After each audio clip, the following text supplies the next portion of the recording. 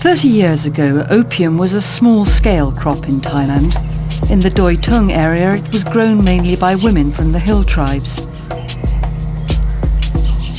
The opium poppy grew well in this remote mountainous area where other crops failed. Its sap became the hill tribe's only source of ready money. But such a high-value, portable crop quickly attracted outsiders, gangsters and outlaws. Under their influence, an increasing amount of land was cleared for poppy growing. But the hill tribe people gained little. Instead, as opium and heroin became easier to obtain, they developed their own addiction problem.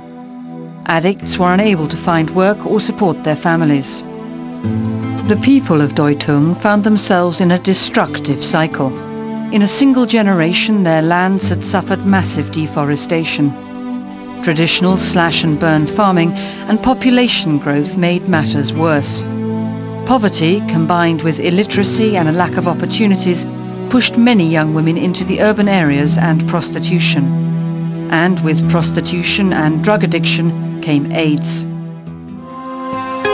It was to break this cycle that the Doi Tung Development Project was conceived in 1988. Its founder and guiding force was Her Royal Highness Princess Srinagarindra, the mother of Thailand's king. Her work is now continued by the Mae Fah Luang Foundation. Her project covers 150 square kilometers of Chiang Rai province in the heart of the Golden Triangle, an upland area split between Thailand, Laos and Myanmar or Burma. 11,000 people live in the Doi Tung project area. Most are from hill tribes such as the Akha, Shan and Lahu. From its start, the Doi Tung project recognized the importance of economic incentives. Opium could only be eradicated if new sources of income were created to take its place. Crop substitution and reforestation had to be part of a program of sustainable economic development.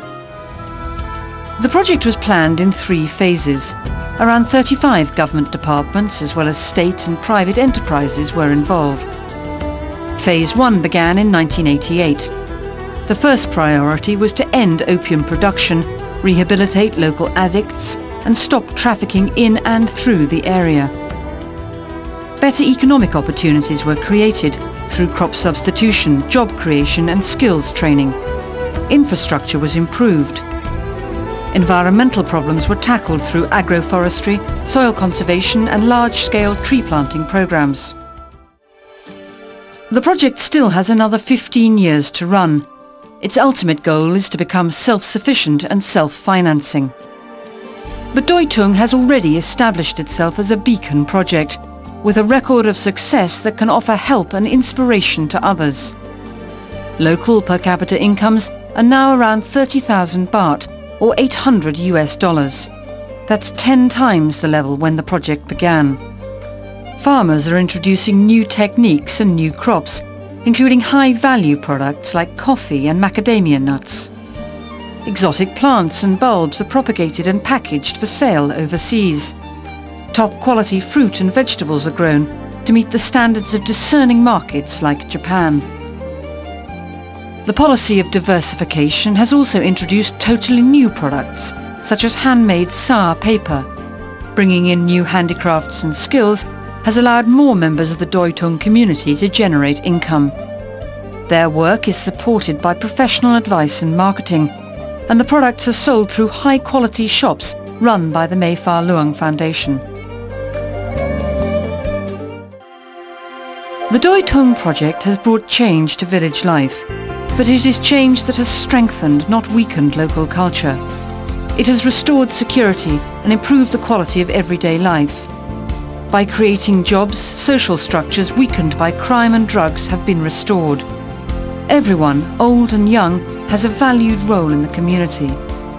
Public utilities and services make life easier and strengthen links with the rest of Thailand.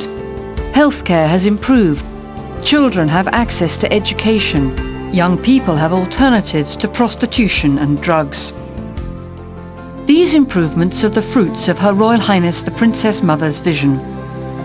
The changes she inspired have created a balance between integrated development and sustainable conservation. Her work at Doi Tung is now continued by her devoted children and grandchildren. They are already taking steps to apply her ideas elsewhere in the region. They believe the lessons from Doi Tung can offer a better future for many peoples and their environments worldwide.